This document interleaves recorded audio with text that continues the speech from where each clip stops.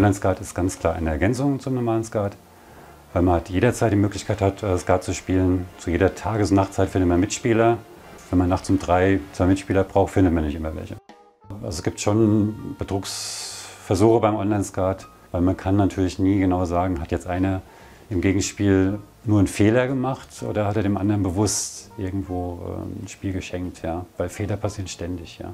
Nur wenn es halt gehäuft passiert, dann, dann liegt der Verdacht schon nahe, dass da was getrickst wird.